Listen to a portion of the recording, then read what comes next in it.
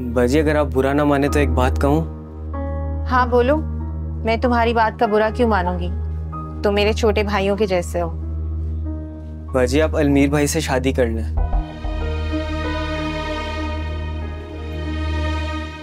मारिया की कॉल आई थी मुझे। क्या? मगर क्यों? मारिया मुझसे शादी करना चाहती है। ये क्या बोल रहे हो बेटा? उसकी तो शादी हो चुकी है।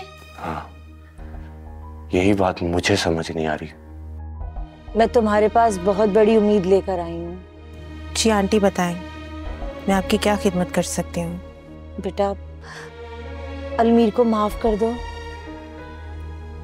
किस बात की माफ़ी? वो खुद को तुम्हारा कसूरवार समझता है।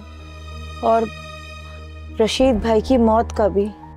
अपने मन पसंदीदा ड्रामा से जुड़े रहने के लिए अभी जाएँ और मन टीवी को लाइक करें, सब्सक्राइब करें और बेल आइकन बटन को प्रेस करना बिल्कुल ना भूलें। मन टीवी, सब कुछ मन चाहा।